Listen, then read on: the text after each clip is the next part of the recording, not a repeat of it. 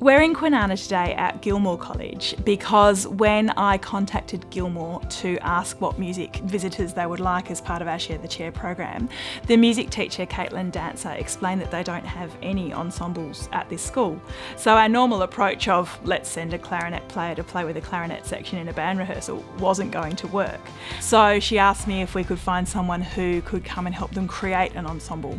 I wanted the kids to experience playing as a group and I just wanted them to explore music from a perspective that's not mine. Like, I didn't want to tell them this is the music you're learning. I wanted to see what opportunities were open to them. So before I came, there was no ensemble work, um, even though there had been a keen desire to do that. And we thought that a really great way in for some of the kids was to use their existing skills that they had um, to create some new music together. My favourite part was just playing the drums with all of my friends and just making a song and everybody's just there to do that one thing. I am a lot better than I was before. We love it and it's fun. It's just awesome.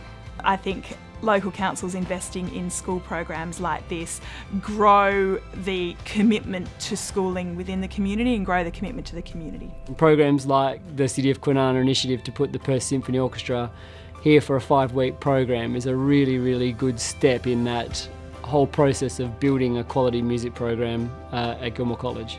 Probably around two years ago I went to visit the members of the Kwinana Council and explained to them what I believed a symphony orchestra concert could do for their community. Not only did they embrace this entire concept, but they also embraced the suggestion that to run a parallel community engagement and education program would be a really fantastic way to take their community on a journey. So by going into schools, by going into the community, getting children familiar with our musicians, when they actually then see them up there on the big stage performing a concert, there's a real sense of pride and I know those people and they came to my school and I think it is complete icing on the cake.